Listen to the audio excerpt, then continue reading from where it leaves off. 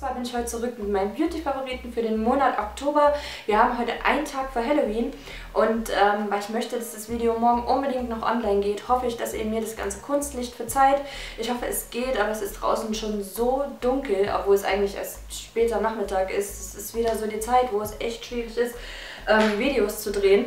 Aber nichtsdestotrotz starten wir einfach mal los. Ich habe viele Hautpflegeprodukte ein Duft und ein paar dekorative Sachen und dann legen wir wie immer direkt los mit dem Video. Starten wir als allererstes mit einem Serum von The Ordinary. Ihr wisst ja, ich liebe The Ordinary. Muss noch dazu sagen, ich habe keinerlei Kooperation mit The Ordinary. Ich habe alle Produkte selbst gekauft, selbst bezahlt. Ich bin einfach nur ein riesengroßer Fan, weil ich wirklich Preis-Leistung super finde. Und ich bin auch super happy, dass The Ordinary jetzt relativ leicht in Deutschland erhältlich ist. Man kann es bei Douglas bestellen. Hier in Berlin kriegt man es jetzt auch im KDW. Und ähm, yay, deswegen kann ich äh, bald wieder mal nachkaufen. Und von den ganzen Sachen, also ich habe einmal so einen riesengroßen oder ein riesengroßes Paket von verschiedenen Serien bestellt. Die habe ich auch alle im The Ordinary, in meinem The Ordinary Review Video intensiv behandelt. Ähm, das verlinke ich euch nochmal unten.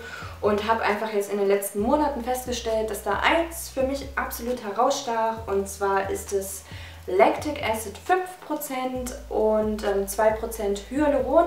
Ist ein ganz sanftes ähm, Säurepeeling, also ist ein super Einsteigerprodukt. Und ich benutze es alle zwei Tage, ausschließlich abend, nach dem Gesichtswasser, also Reinigung, Gesichtswasser, vor den pflegenden Serien und vor der Creme wirklich als ganz sanftes Peeling, einfach, dass meine Haut von abgestorbenen Hautschüppchen befreit wird, dass die danach folgende Pflege tiefer aufgenommen werden kann und ich finde, also ich merke ganz große Resultate, dass sich auch meine Hauttextur einfach verbessert hat.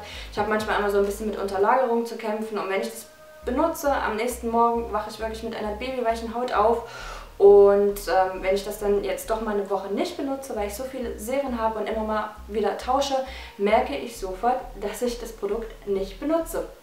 Und wie ihr sehen könnt, ich bin fast durch. Hier unten ist nur noch ein ganz klein wenig. Das bestelle ich mir jetzt demnächst wieder nach. Und da gibt es zwei verschiedene ähm, Formulierungen. Also einmal die 5%ige, etwas leichtere Formulierung und dann noch 10%ige Milchsäure, Lactic Acid, weil es wie gesagt eine ganz, ganz sanfte Säure ist und ich merke auch kein Witze, nix. Und absoluter Liebling von The Ordinary für mich.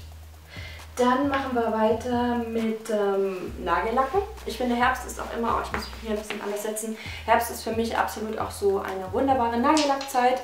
Heute habe ich natürlich wieder mal rot. Klar, wenn ich das Video drehe, trage ich rot. Aber jetzt im letzten Monat oder in den letzten zwei Monaten bin ich schon auf herbstliche Farben um, umgestiegen. Und da habe ich zwei eigentlich so ziemlich immer in ähm, Rotation getragen. Und zwar einmal so ein Newton von Catrice. Ich glaube, der war auch neu im Sortiment, also stand zumindest neu. Und das ist die Nummer 10 Rosywood Hills sagt schon der Name, ein wunderschönes Rosenholz, ganz gedeckte, schöne Farbe, sieht super gepflegt auf den Nägeln aus und für mich eine absolute Herbstfarbe, Nummer 1. Und da habe ich hier so ein richtig schön reiches Schokoladenbraun. Es war für mich super schwierig, so einen Schokoladenbraun zu finden. Dann habe ich nur das entdeckt von Essence. Und zwar ist es die 109 Glitter Shock. Sagt auch schon der Name, es ist nicht einfach nur braun, hier sind auch so leichte Glitzerpartikel mit drin. Ich finde die Farbe super schön, aber wenn ihr noch eine Farbe kennt, einfach nur ein richtig schön tiefes Schokoladenbraun, schreibt mir das mal von welcher Marke. Und da habe ich auch zwei neue ähm, Serien, die ich absolut liebe. Benutze ich jetzt erst so zwei Wochen und ich finde, mein Hautbild hat sich auch rapide verändert. Und zwar sind das zwei unterschiedliche Serien. Eins für morgens, eins für abends mit einer passenden Pflegecreme dazu. Und zwar ist das die Capture Youth Serie von Dior. Und da habe ich zum einen ein Vitamin C Serum. Ihr wisst alle, ich liebe mein Vitamin C. Capture Youth Glow Booster für den Morgen.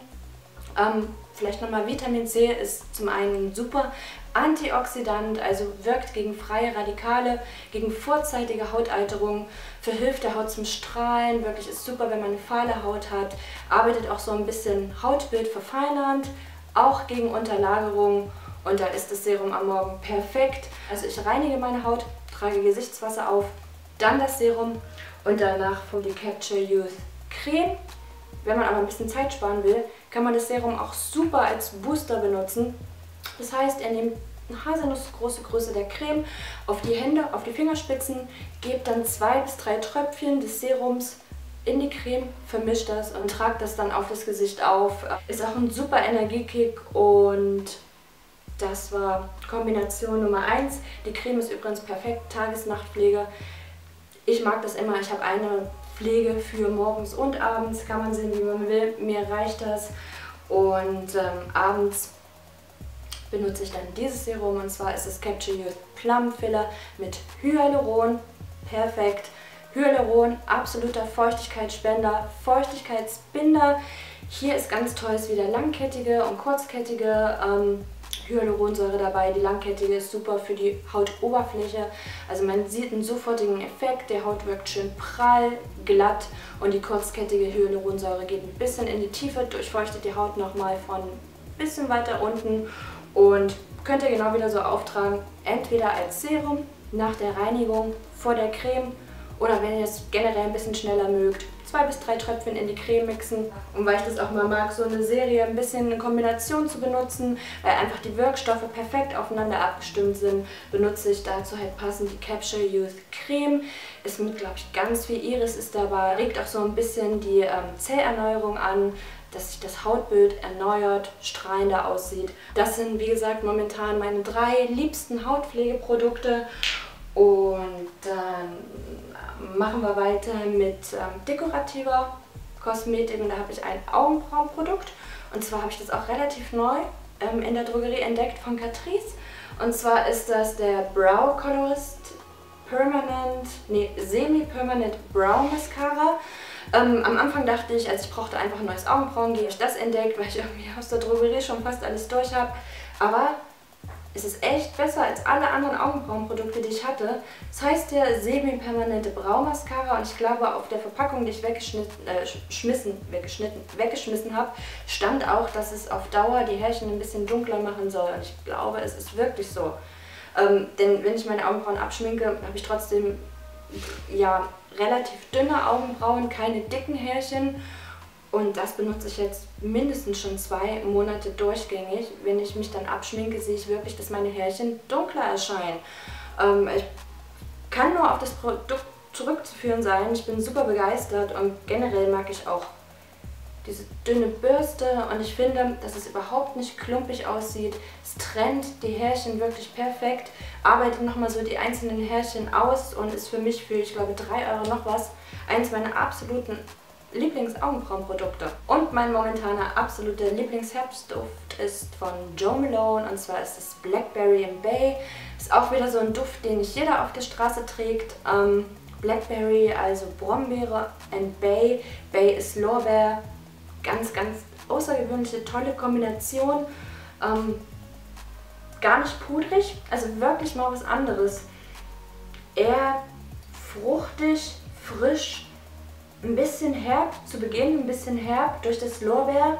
Mm, liebe ich einfach, wenn es draußen kalt ist, regnerisch, finde ich, ist es so ein richtig schön wohliger Duft. Kann man ja untereinander schichten, aber ich muss sagen, ich mache das nicht nur mit Joe Malone Düften. Ich nehme manchmal auch einen anderen, ganz süßen, pudrigen Duft, gebe so ein bisschen Blackberry and Bay drauf. Es ist eine super tolle Kombination und absoluter Lieblingsduft. Jeden Tag trage ich den momentan. Und das waren auch schon ganz fix alle Beauty-Favoriten. Ich hoffe, das Video hat euch wie immer gefallen. Das nächste Video wird dann ein Modevideo, das versprochene Lookbook und ähm, ich hoffe, ihr schaltet da wieder ein. Ansonsten wünsche ich euch erstmal ein wunderschönes Halloween und dann sehen wir uns hoffentlich im November wieder. Bis bald!